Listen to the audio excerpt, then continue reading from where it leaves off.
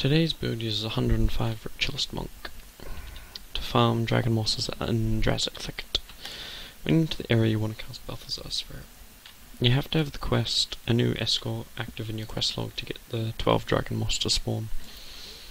The build uses Protective Spirit, Shielding Hands, and Shield of Absorption to reduce damage to zero, and uses Vengeful Was Khanhei, Spirit Rift, and Ancestor's Rage to deal damage. Before you aggro, you want to cast Spirit, Shielding Hands to reduce the damage. Once aggroed, you want to head back towards this cluster of trees. This should ball the enemies up into a tight group so you can AoE them down with your various spells. At this point I'm going to cast Vengeful Was I start dealing some damage, and target an enemy within the group.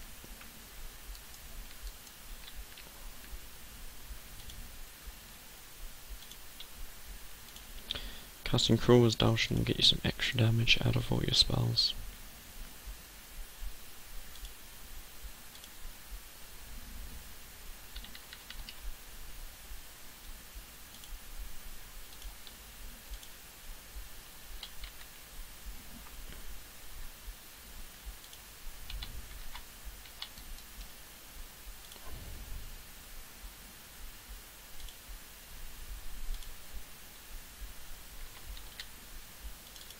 And that's the build. Kills 12 Dragon Moss in just over a minute.